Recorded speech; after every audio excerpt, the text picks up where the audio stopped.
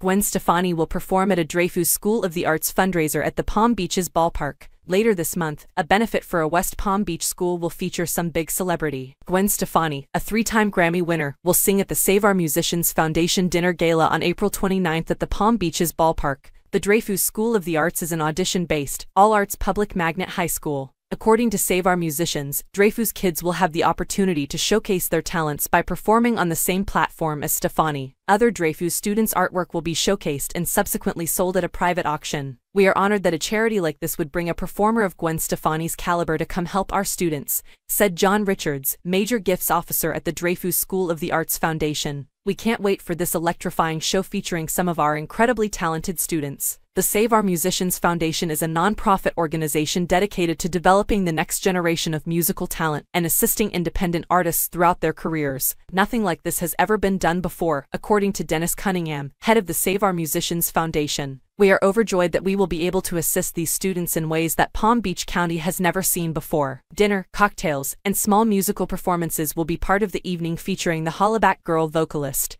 A single ticket costs $600 while a front row table costs more than $30,000. To purchase tickets, go here. The general public can also enter a contest to win two tickets to the event, round-trip travel, hotel accommodations, and $500 cash.